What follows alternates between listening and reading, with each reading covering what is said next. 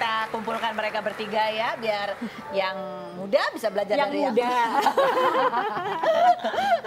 Oke, kita tanya-tanya jawab pertanyaanku dengan jujur apa adanya. Apakah pertanyaanku ini jawabannya fitnah atau fakta? Fendi, ciao, fitnah Iya. atau fakta?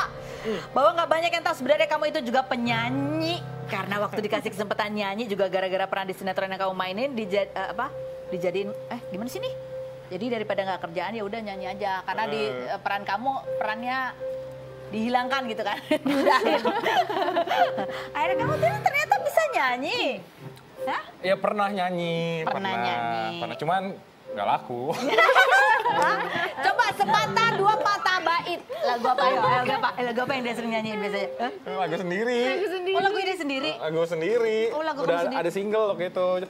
Benarkah, di manakah, siapakah, ke manakah? Oh, semuanya berakhiran kah ya mungkin Gitu. kah gitu ya. galau, galau, Oh ada video klipnya, mari Ada kita lihat video buktinya berikut ini. Nggak- Nggak kesampaian jadi penyanyi. Nikahnya sama yang mantan penyanyi Nyanyi. suaranya bagus. Nggak, tapi waktu itu produksi sendiri atau ada label atau gimana? ada label juga, ada label Oh juga ada label, sebenarnya. tapi nggak laku di pasaran.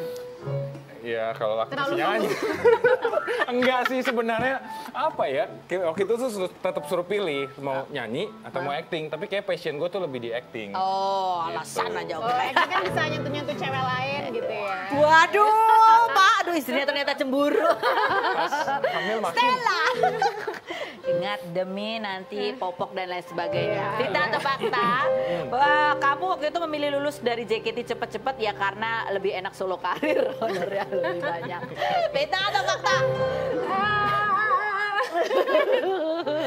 Em, fakta kali ya? Ya ada faktanya sih ya, ada faktanya. Iya, iya. Sudah ketemu dia juga ya belum ya? Iya, kan dulu kan belum Belum, belum, belum boleh pacaran. Nah, untung kalau kalau nggak susah ketemu dia ya kan. Udah saatnya berarti. Sianan Vita atau fakta?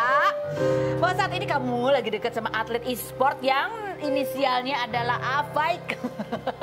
Vita atau fakta? Itu bukan inisial ya. Fakta kamu lagi deket sama cowok cowok juga ada yang deketin kamu gitu. detektif ya? Dia, kan kami- dekat dekat sebagai teman kan kita semua berteman Betul. berteman itu indah Betul. Iyalah, ya pasti. kan? Itu kayak di itu indah. ya waktu itu ada yang aku tanya jawabannya juga masih berteman ya. Emang berteman itu indah Iya betul. oh ini masih baru teman ya, masih PDKT ya. berteman Oke, ini teman yang berikut ini, teman yang ini yang lagi dekat sama kamu ini, teman ini. Dia apa sih yang kamu sukai dari dia? Sifat-sifat yang dia suka, yang kamu sukai dari dia? Satu, selain baik ya. Satu, dia apa? baik Iya, selain baik dia baik. Sekali lagi. Ah. Enggak, bisa kayak em, teman mabar lah, kan jago, Oh, jadi ngajarin aku game, ya. Iya, Oh, game. Dia ngajarin kamu game. Game. Terus apa lagi? Eh, pelit nggak? Enggak, Enggak. Terus habis gitu orangnya galak nggak? enggak. Enggak galak. Oke lanjut lagi. Oh Shannon lagi. Oh enggak ada kita ke Fendi Jovita atau fakta. Kamu. Saya Kalau biasanya cewek-cewek, kalau ini cowok-cowok, kamu termasuk cowok yang suka nonton drakor.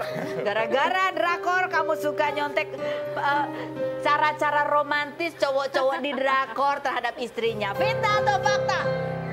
Setengah fakta setengah fitnah. Eh, eh, yang mana yang fitnah? Yang fitnah ngikutin cara mereka. Oh.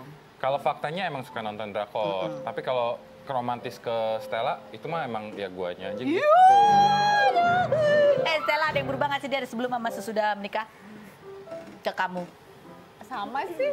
Sama. Dari dulu emang begini orang. Tapi kamu kenapa kayaknya kayak alergi banget gitu kalau dia lagi mesra-mesra kenapa sih Stella?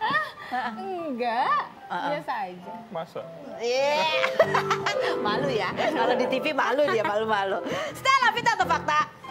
Bahwa kamu lagi ngerayu suami kamu supaya bisa tinggal di Bali. Fitnah atau fakta? Fakta.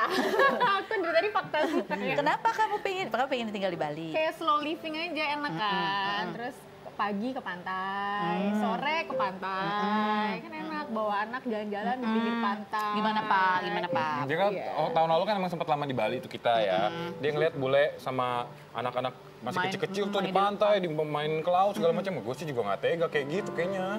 Maksudnya gimana? Bener-bener langsung diajak anak kecil diajak surfing ke Dilempar laut, ke kayak gitu. laut. Itu kan bukan alasan kamu gak bisa tinggal di Bali. Kamu bisa tinggal begitu aja. Gue syutingnya gimana? Dia nggak bisa jauh Ntar dari jauh aku. lagi, komplain lagi. Aduh, nanti kita tinggalkan pasangan ini ya. Oke, untuk berdiskusi. Siana lagi fitnah atau fakta? Bahwa setelah kejadian rame kemarin kamu posting di sosial media itu, job kamu jadi sedikit berkurang. Fitnah atau fakta? Jawabannya setelah berikut ini jangan ke mana-mana. Tetap di Rumpi. Nasik.